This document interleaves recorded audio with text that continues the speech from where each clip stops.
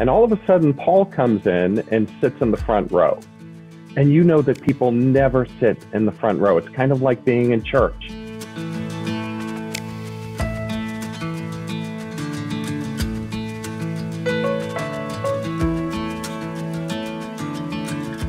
And then as soon as my session ended, he came up and introduced himself to me.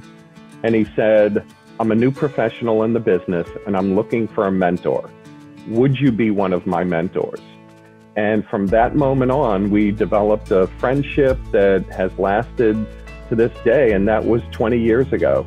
Uh, and I'll never forget that because it, it does take a lot for somebody to say to another professional, Would you be my mentor? Uh, but I had already been hearing from friends and colleagues uh, about the great energy and experience that he was bringing to the role. And so it was knowing that the Alumni Association would be part of my portfolio, it was really terrific to have the opportunity to meet him uh, uh, early in my in my tenure. I graduated from Penn State Beaver in 2018 and directly went out to State College, University Park, for an internship with the Alumni Association. And yeah, Paul and I hit off from there. I I was under his under his wing for about three months, so that's how I know Paul. Paul is a relationship builder, and that's what you need to be successful in this business. So he did it at UConn, then he went to East Carolina, and I know that to this day he has relationships with colleagues from East Carolina as well. The impact that I've been able to see Paul have on the Penn State Alumni Association and the university in general is a remarkable one. Um, Paul truly gets Penn State, he he really embarks the we are. He really just he's he's a great he's he's a great leader. He's a great mentor, and he's a great friend. Um, I've known Paul for about two years now, and it, I've never seen him turn down someone that asks for help. Um, Paul's big thing is if you need help, ask, and he'll be right there for you.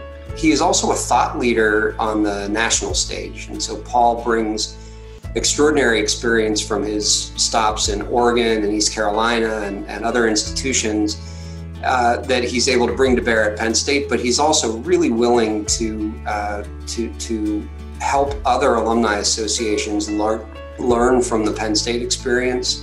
Uh, he plays a, an important role as a voice in the Association of, of Alumni. I think it's the Association of Alumni Directors. And every place he's gone, Paul has made a difference. And he's not just made a difference at the institution, but he's made a difference in the profession as well. Paul and I were very fortunate to work together in editing a book years ago for CASE.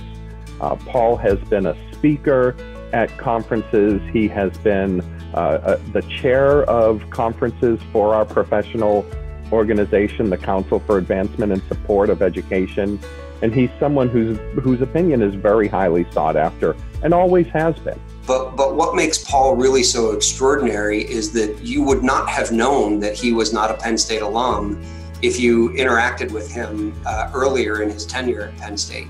Uh, and I know that he and Jenny are uh, generous donors to your institution, and and that is not a conflict at all for Paul. He uh, he really loves and loved his time with you, and and I think brings some of that love uh, to his work at Penn State. Uh, you know, we sometimes say that if uh, if you love your institution as much as I love my institution, then it doesn't matter where we graduated from. We have something in common, and I think Paul really carries that in his heart.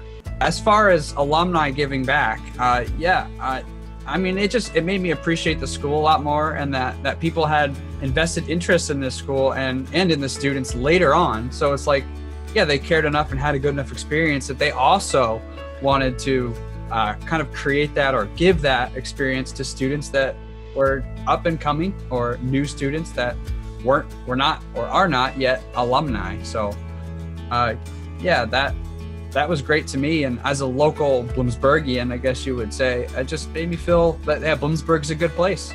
Paul has been a true inspiration in my life. Um, I came to State College from a Commonwealth campus, and I was the newbie on the block. And Paul truly was just he was there for me when you know I didn't really have any friends. Um, Paul came to my my 22nd birthday party. Um, we had it at Texas Roadhouse, and he made me get on the saddle, which wasn't fun. Thanks, Paul. But um, yeah, I just can't thank him enough for everything he's done for me. Paul still uh, will pick up the phone just on a random day and call me just to check in, just to say hello, just to make sure that I'm okay, uh, just to say I, I was thinking of you today and I want you to know how much I appreciate what you have meant to me over the years. It's so powerful and it's so important uh, to, to hear that and to have friends like that.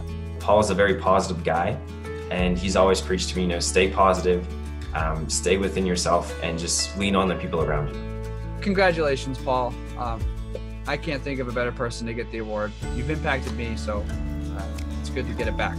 Reap what you sow. Hi, Paul. It's Rich.